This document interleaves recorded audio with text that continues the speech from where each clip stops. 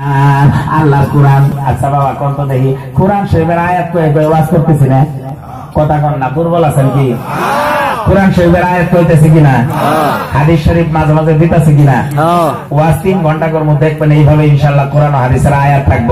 তাও যদি কেউ বিতর্ক করেন আমি বলব এর মতো মূর্খ আর কেউ থাকতে পারে না। কথা কোন ঠিক কিনা? কারণ কোরআনও যদি না বুঝেন কোরআন দিয়ে বলতেছি। তাও যদি আপনি কোন যে হুজুর এটা কোথায় আছে? কোন যে আপনার মতো মানুষ মানে দুনিয়াতে এই- এই এই- এইরকম মানুষ এখনও দুনিয়াতে আছে।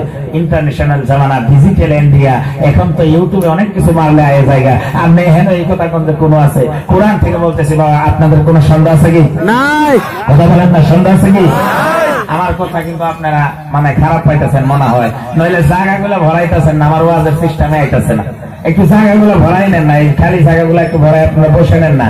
দশটা বাজে হানি বাজে চাইতেছে নাই আমি মনের মধ্যে কাল কালকে গরম ডিস্ট্রিক্ট সভা করছি, পরশুদিন মেঘালয় সভা করছি। আজকে আপনাদের এখানে আছি। কন্টিনিউ তিন রাত হয়ে গেল। তাও চেষ্টা করতেছি আপনাদের কিছু শোনাবো। কোরআন হাদিস থেকে ডাইরেক্ট কোরআন হাদিস থেকে কিছু প্রশ্নের উত্তর দিব। কিন্তু আপনারা যদি এইভাবে জায়গা খালি খালি করে বসে থাকেন, তাহলে একটাও কম না যান যাই ঘুমান গা আমরা যাই ঘুমাবো না কোন না চান কি বাড়ি যাই ঘুমাবেন এখানে? না। ঘুমাবেন কি? না। এই জায়গাগুলো একটু খালি করেন মানে খালি জায়গাগুলো একটু পুরো করে নেন আসেন। আপনারা আগে আসেন যারা পাঁচ আসর আছে আসেন। একটু আগে আসেন ভাই একটু আগে আসেন। আইরে হ্যাঁ যদি বুঝতে তাহলে একটু আগে আসেন। যারা মুসলমান তাহলে আমার ভালো লাগবে। আওয়াজ দিয়ে বলেন আমরা কোরআন হাদিস শুনতে চাই কি চাই না? চাই। আমার মানে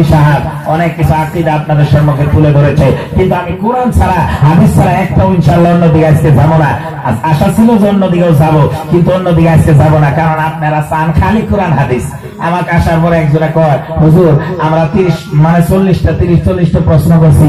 এই প্রশ্নগুলা কোরআন হাদিসের আওতায় কোয়া লাগবো। কোরআন হাদিসের আওতায়? আমি কইলাম যে, দেন, কোরআন হাদিসের আওতায় মানে আওতায় মানে বোঝা যায় কোরআন হাদিসের সাথে আরও কিছু। আমরা আওতায় কমো না, ডাইরেক্ট কোরআন হাদিস কমো। বুঝলেন নাই কথা আর তত বহু ডাইরেক্ট কমো। তা আপনারা ডাইরেক্ট শুনবেন কিনা? শুনব। শুনবেন কিনা? মহাব্বত দুই হাত তুলে বলেন ইয়া রাসূলুল্লাহ। ইয়া বলেন ইয়া রাসূলুল্লাহ। ইয়া রাসূলুল্লাহ। অনেকগুলা প্রশ্ন আমি নিজেই করব আমি নিজেই উত্তর দিব আপনারা শুনবেন। যেরকম কিছুগুলা হাবিরা কয় যে নবী সাহাবার আগে ক্যাম করতো নবী সামনে আসিল ওই জন্য ক্যাম করতো এখন তো নাই। তাহলে আমরা কে লাগে ক্যাম করব? ওরা দেখছে ওই জন্য ওরা ক্যাম করছে। আমরা দেখি না লাগে আমরা ক্যাম করব না। আছে না কয় না? কয়। কয় না নাই? কয়। এই যে কথা কন না কয় কিনা উত্তরগুলো আমি হাদিস থেকে দেওয়ার চেষ্টা করব। কিন্তু যদি আপনাদের মেজাজ ঠিক হয়, আর দশটা বাজায় যদি আপনারা ঘুমাবার চান, তাহলে আমি মানে তার আগেই, কারণ আমি তিন রাত আজকে জাগলাম, আজকে নিয়ে। বাবারা, প্যার মুসলমান, আওয়াজ দিয়ে বলেন, আমরা রসুলের মহাব্বতে একটু সময় অতিবাহিত করতে চাই কি চাই না? চাই।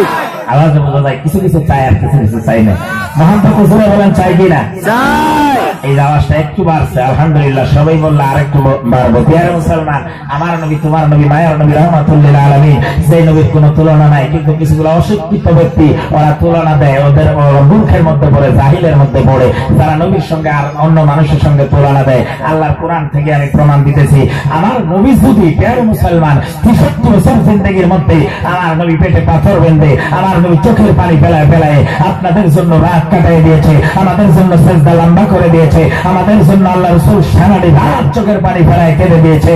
আওয়াজ দিয়ে বলেন ওই রসুলের উম্মত যদি আমরা দাবি করি ওই রসুলকে যদি আমরা মহব্বত করি আমরা রসুলের মহব্বতে একটা রাতের কয়েকটা ঘণ্টা এই জায়গার মধ্যে নদীর প্রেমে বসে থাকতে চাই কি চাই না?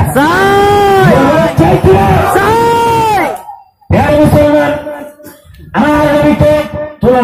চলবে না, আমাদের সঙ্গে ডাইরেক্ট তুলনা দেওয়া চলবে না। যদি বলেন, নবী আমাদের মতোই মানুষ, নবী বড় ভাই সমতুল্য, তা তুলনা দেওয়া চলবে না। আল্লাহর কোরআন, আল্লাহ পাক কোরআন শরীফের মধ্যে বলে, লা তাজালু দুআর রাসূলি বাইনাকুম কা দুআই বাদা। আল্লাহ ডাকতে বলে পৃথিবীর মানুষ, আমার বান্দারা শোনো, আমার নবীকে তোমরা একজন তোমরা যেরকম একজন অপরজনকে নাম ধরে ধরে রাখো একজন অপরজনের নাম ধরো। এ সালিমুদ্দিন ভাই, এ সোনাব আলী ভাই, এরকম করে নাম ধরে ধরে রাখো আল্লাহ বলে, আমার রসুলকে আমার নবীকে সেরকম করে নাম ধরে রাখতে পারবা না।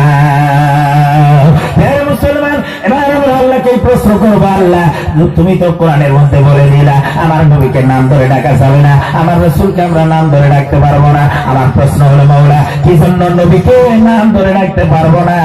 আপনার নাম ধরে যদি আমরা না ডাকি, তাহলে কি বলে ডাকবো? কি করে ডাকবো? আমার বন্ধুগণ তফসিলের নসবির ভিতরে কোরআন শরীফের নম্বর পৃষ্ঠার 3 4 5 নম্বর লাইনের মধ্যে আমার বন্ধুগণ তফসিলের মধ্যে আলোচনা করেছে। আমার নবীকে নাম ধরে ডাকা যাবে না। আমার নবীকে কি বলে ডাকবা? আজকে অনেক মানুষ আছে রাসূলুল্লাহ কইতে দেয় না। অনেক মানুষ আছে, ইয়া হাবিবাল্লাহ কইতে দেয় না। কিন্তু আমি তফসিলের মধ্যে পড়ে দেখলাম আল্লাহ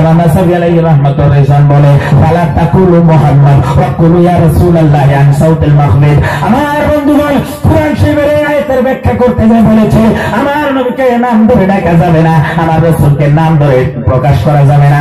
আমার নবীকে, ইয়া রাসূলুল্লাহ, ইয়া হাবিবাল্লাহ বলে, সুন্দর সুন্দর নাম ধরে ধরে, ইয়া রাসূলুল্লাহ, ইয়া হাবিবাল্লাহ লাকাবগুলো ধরে ধরে, আমার নবীকে ডাক দিতে হবে। তাও বলে চান সাউতিল মাহমিদ কিন্তু উচ্চ স্বরে ডাক দেওয়া যাবে না। আমার নবীকে নরম নরম মেজাজে ডাক দেওয়া লাগবে, চিল্লায় কেমন মানুষ হইলেন? অনেক মানুষের নামাজও পড়ে। আবার নবীকে কয় নবী তো আমাদের মতোই খাইছে আমাদের মতোই মানুষ আছে উনি তো মরে মাটি আছে মিশে গেছে গা। উনি ওনার উনিও তো এমন নাহলা মানুষ আছে উনি ইবাদত করছে তাহলে আপনারা করবেন নাকি? এই ইবাদত করছে করবেন নাকি? এইখানে বুঝাবার যায় আপনার ধ্বংস করে দিল যে নবীর আকিদারা আপনার ধ্বংস করে দিল কিন্তু আপনি আমি বুঝতেই পারলাম না কথা কম ঠিক কিনা। আপনার ব্রেনটে ওটাই লাগবে হ হাই হাই নবী যদি ইবাদত করছে দিনের খেদমত করছে তাহলে আমি কেন লাগে করব না? আপনার কোন ওই দিকে ব্রেনটা যাব না এদিকে কিন্তু আপনার সর্বনাশ করে দিল। যে নবী আমাদের মতোই মানুষ ছিল উনিও তো ইবাদত করছে। কিন্তু না আল্লাহ কোরআনে বলে দিল নবী আমাদের মতো মানুষ ছিল না। আওয়াজ দিয়ে বলেন ঠিক কিনা? ঠিক। আওয়াজ আস্তে আস্তে দিবেন না জোরে দিলে ফায়দা